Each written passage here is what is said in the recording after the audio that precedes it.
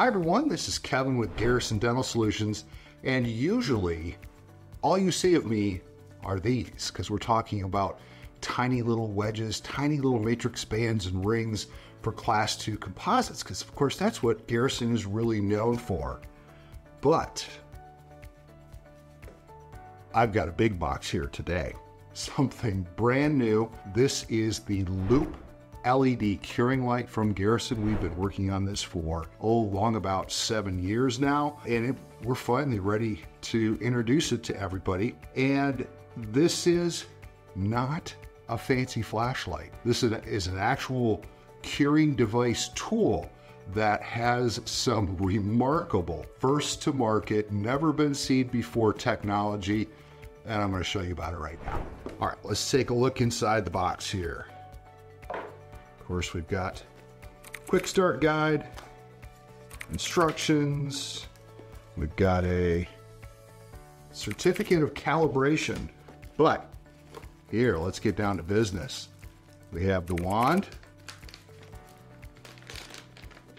and we have a charging slash calibration base. Aha, calibration. We'll get to that in just a second. All right, we got some other goodies in here. Looks like we've got a light shield.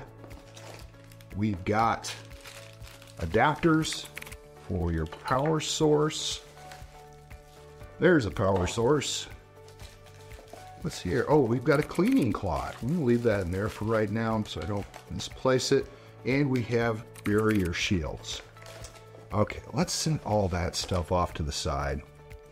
Let me get out and hook up your charging base.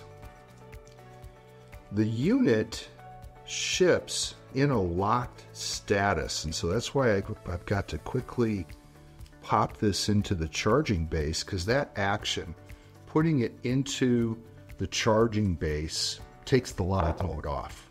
Let's go ahead and hook this up so that we can take it out of lock mode. There we go. On here. Oh, yeah. So again, when it's in lock mode, it just shows a little lock symbol on the screen. It's not going to do anything. And the reason it's shipped that way is just so that if it's jostled during shipment, it doesn't accidentally turn on or anything like that. So we pop it into our charging base and it should, there we go, get itself ready to go. So I mentioned earlier that Loop is not just a fancy flashlight like pretty much all other curing lights on the market. We're going to take a really close look in a few minutes. Now, the tagline for this product, Loop LED curing light from Garrison Dental Solutions, is confidence in every cure. And how can we deliver confidence? How can we deliver on that brand promise with Loop? Well, Loop is radically different than a typical curing light. A typical curing light is pretty much a fancy flashlight. It's got an on off button. You set how much power, how much time you want, and it just sits there and zaps that power out. And doesn't matter if you're holding the device properly, if you're on the tooth or over the tongue, it doesn't care, it just runs that cycle. Well, loop, the closed loop part of this is, and again, you can't see this right here, we'll show you close up, but right here in the lens, there is a tiny tiny little hair thin fiber optic capillary that feeds information to a little microprocessor in here. And 500 times a second, Loop adjusts the power output. So right now, this is set at 1000 milliwatts per square centimeter for 20 seconds. Well, every other curing light out there, you turn it on and it just pumps out its 1000 milliwatts for 20 seconds, regardless of what you do. Loop, when you start it up, it reads how much energy is being reflected from the surface and adjusts the power output up or down, depending on how close you are to the tooth, so that it consistently at the tooth surface delivers that 1000 milliwatts per square centimeter.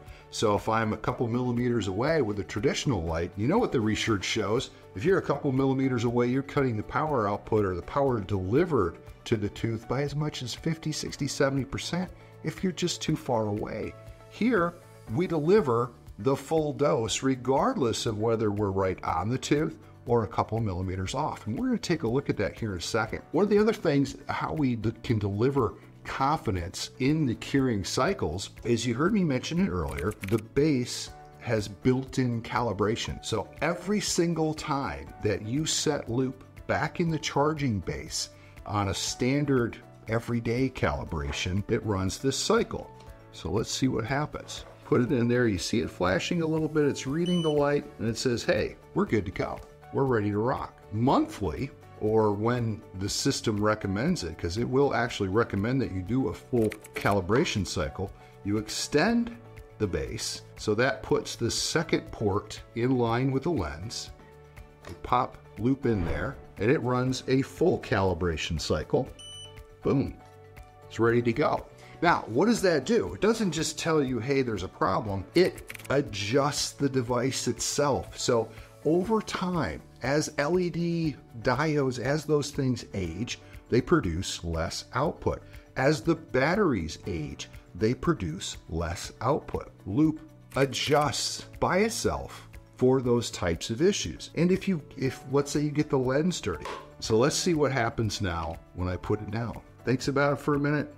Oh, a dirty lens check. And look, we've got a big splotch that says our lens is dirty. It needs to be cleaned. So let's do that a minute.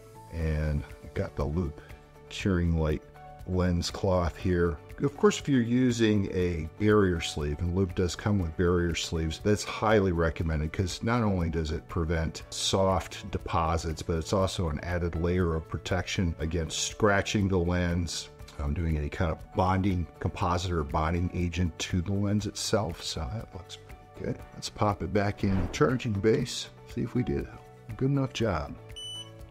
Ready to go. Ready for my next curing cycle those couple of steps which happen automatically, which is a wonderful thing, unless you've got some kind of master checklist in your office and your assistants or staff are extremely diligent about following that checklist, you're probably not checking your lights as frequently as you should. So every single time you set loop back in the charging base, it does that check to make sure it's ready to go for your very next use. So, confidence in every cure. Let's talk about what happens when we put it on a tooth. So see these two arrows right here? That just indicates that the head is aligned with the body.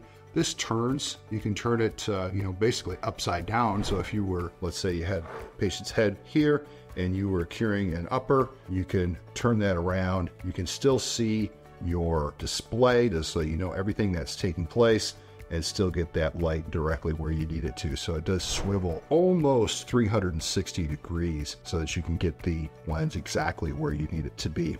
So let's pop this guy back on here. And what I'm gonna do is right now, this is set to a standard curing cycle. By standard, I mean that the closed loop functionality is not turned on. This is going to output 1000 milliwatts per square centimeter for 20 seconds, regardless, I could be pointing it at the wall. The light does not care at this point. I'm gonna hold this button.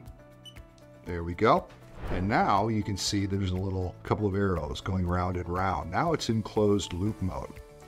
And now it's gonna do something really fun. I'm gonna turn it off and look, it's just beeping, it's not turning on. I hold it over the tooth, ta-da, it turns on. I slide off the tooth. It's, it flashes, tells me I, I went too far away and I held it off for too long, so it stopped the cure. So you know you didn't deliver the amount of energy that you needed to. Let me do this again. I get close, I'm curing, it's doing its thing. I see a bar going across the screen that shows me how much time is remaining.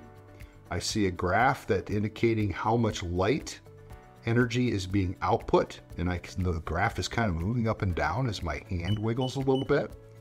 And now I'm getting closer, and there's our 20 seconds. So confidence in every cure because you know you're delivering the appropriate amount of energy for that particular curing cycle. Now, the question comes up, I know what you're thinking, right? Said, well, if I'm worried about it, why don't I just hit the curing cycle again and do it again? Right? That's that's the only option you have right now is repeated curing cycles. Well, a couple things, a couple issues with that that we know, you know, research shows, and there's there's studies out there that show this, that you can actually over cure composite and you can make it more brittle than it would normally be. Additionally, you are generating heat. The LED lights are much cooler than old school technology. However, it does generate heat, and if you're repeatedly curing that same spot, you are going to heat the tooth, and hopefully not too far, but definitely will heat it up. And then there's the time. Efficiency is incredibly important in today's dental practices. And if you're sitting there for an extra 20, 40, 60 seconds monkeying around because you're not sure that you delivered the appropriate amount of energy, you are wasting valuable chair time. It's kind of dummy proof, right? It's an actual tool, a device for curing, and not just a fancy flashlight.